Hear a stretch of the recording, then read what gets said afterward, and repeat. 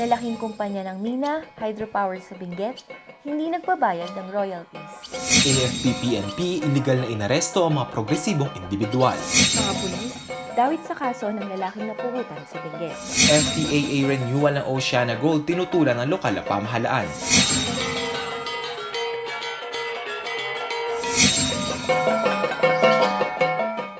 Pinagpapaliwanag ng National Commission on Indigenous Peoples o NCIP ang anim na malalaking kumpanya ng mina at hydropower sa Benguet dahil umano sa hindi pagbabayad ng royalties sa kanilang mga host communities. Ayon sa NCIP, maaaring kasuhan ng mga kumpanyang ito dahil sa paglabag sa Indigenous Peoples' Rights Act o IPRA. Ayon kay NCIP Cordillera Regional Director Marlon Bosantog, nakatanggap sila ng reklamo mula sa mga host communities ng malalaking minahan. Kabilang dito ang Benguet Corporation, Lepanto Consolidated Mining Corporation at Apex Mining Corporation. Inireklamo din ng San Roque Power Corporation na siyang nagpapatakbo ng San Roque Multipurpose Dam, ang Aboitiz Power Corporation na nagpapatakbo sa Ambuklao at Binga Dam at ang Headcore na may ilang run-off river hydroelectric power projects. Ayon sa mga natanggap na reklamo ng NCIP, ilang dekada ng pinagkakakitaan ng mga naturang kumpanya ang mga rekurso sa loob ng ancestral domain ng mga katutubo kahit na hindi nagbabayad ng royalties. Nakapag-renew din umano ang mga kumpanya ng kanilang mga permit at lisensya sa kabila ng kawalan ng prior consent mula sa mga katutubo. Bunsod nito, nagbaba ng show cause order noong December 22 si Busantog para sa nasabing mga kumpanya. Pinaalala nito na kinikilala sa ilalim ng IPRA ang karapatan ng mga katutubo na makinabang sa kita mula sa paggamit ng mga rekurso sa loob ng kanilang lupang ninuno sa pamamagitan ng royalties. Ayon din sa nasabing batas, karapatan ng mga katutubo ang maningil ng kompensasyon sa anumang pagkasira na itudulot ng operasyon ng mga kumpanya.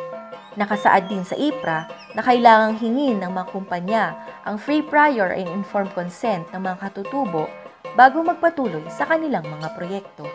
Ang show cause order umano ang unang hakbang upang matugunan ang reklamo ng mga katutubo. Hinikayat ng direktor ang mga katutubo sa buong rehiyon na ipagbigay alam sa NCIP ang anumang isyo o problema sa kanilang mga lupang ninuno. Matapos ang iligal na pag-aresto kay Amanda Chanis, miyembro ng Amihan at paghalughog ng mga militar sa bahay ni Isabelo Advento, coordinator ng Anakpawis, Cagayan Valley, noong ikadalawa ng Disyembre, umapila sa Commission on Human Rights Region 2 ang Karapatan, isang human rights group upang imbestigahan ang pangyayari. Si Ed Chanis ay pinaghihinalaan ng mga pulis na finance officer di umano ng New People's Army. Siya ay anak ni Randall Chanis, chairperson ng Anak Pawis Party List at consultant ng National Democratic Front of the Philippines na pinahirapan at pinatay ng mga pinaghihinalaang puwersa ng gobyerno. Ayon sa tanggayan Timanalon Tikagayan, ang pag-aresto kay Ed Chanis at paghalughog sa bahay ni Adviento ay manifestasyon ng pagiging desperado ng gobyerno sa pagpapatahimik sa mga kritikal sa mga polisiya at programa nito. Sa isang interview, inalala ng asawa ni Adviento na si Lina Dagohoy kung paano sinira ng kapulisan ng kanilang pinto at tinutukan sila ng baril. Ayon kay Dagohoy, walang ipinakitang warrant ang mga pulis habang ginagawa ang operasyon. Saka lamang nila nakita ang warrant nang dumating ang mga opisyal ng Criminal Investigation and Detection Group. Binigyang diin niya na walang nakitang iligal na gamit ang raiding team habang isinasagawa ang raid.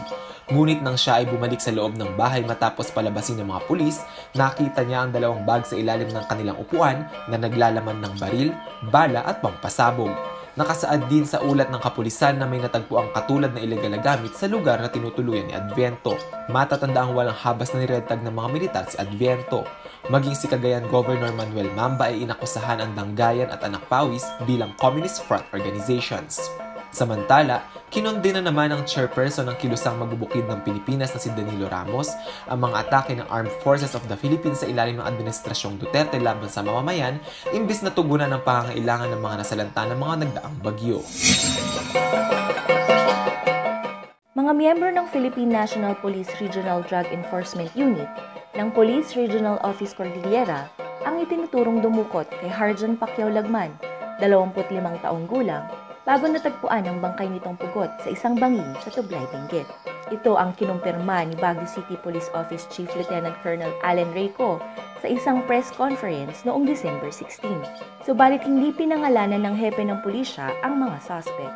Ayon kay Ko, may sapat na ebidensya na magpapatunay ng nasabing mga pulis ang dumukot kay Lagman pero wala umano silang matibay na ebidensya na magpapatunay na sila ang pumatay dito. Agad na dinisarmahan at isinailalim sa restrictive custody ni Police Regional Office Cordillera Director Brigadier General Arwin Pagkalinawan ang nasabing mga pulis. Binuwag din ng General ang Regional Drug Enforcement Unit. Ayon sa ama ng biktima, may nagsabi sa kanya na hinablot, pinosasan at pilit na isinakay sa isang SUV ang kanyang anak ng mga hindi nakikilalang kalalakihan noong November 11 kaagad na nagsumbong sa BCPO Station 9 ang pamilya ng biktima. Kinabukasan, November 12, nakita ang pugot na bangkay ng biktima sa isang bangin sa KM20, Sitio Gulon, Barangay Ambassador sa bayan ng Tublay. Ipinaubaya na ng PNP sa National Bureau of Investigation o NBI ang naturang kaso.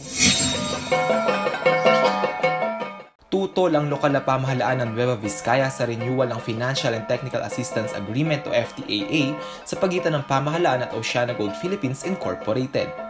Paliwanag ni Carlos Padilla, gobernador ng Nueva Vizcaya, mas mahalaga ang pangangalaga sa kalikasan kaysa sa interes ng Oceana Gold. Ito ang naging tugon ng gobernador sa pag-anunsyo ng Oceana Gold noong November 7 na malapit na umanong mapinalang kanilang FTAA Matatandaang natapos ang 25 kontrata sa pagitan ng pamahalaan at Oceana Gold para sa pagmimina sa Didipyo sa bayan ng Kasibu sa nasabing probinsya noong June 20, 2019. Ayon sa higanting minahan, inutusan mismo ni Pangulong Rodrigo Duterte ang Department of Environment and Natural Resources o DENR na ipinalang kanilang FTAA. Sa kabila ng patuloy na barikada ng mga apektadong residente laban sa operasyon ng Oceana Gold, sinabi ng kumpanya na inendorse umano ng lokal na komunidad maging ng mga katutubo ang kanilang proyekto. Matatandaang noong June 2019, hindi sinunod ng Oceana Gold ang ibinabang cease and desist order ni Padilla at nagpila pa ang kumpanya ng petisyon sa korte laban dito. Kinatigan ng korte ang order ng gobernador. Ayon kay Leon Dulce, National Coordinator ng Kalikasan, dapat matuto na ang Pangulo sa mga nakaraang pagbaha. Aniya, malinaw at malaki ang kinalaman ng malalaking pagmimina, quarrying at iba pang extractive industry sa pagbahang dulot ng mga nagdaang bagyo. Pinuna rin ni Dulce ang planong pag-renew sa FTAA ng Oceana Gold sa kabila ng mahigit isang taong illegal na operasyon nito.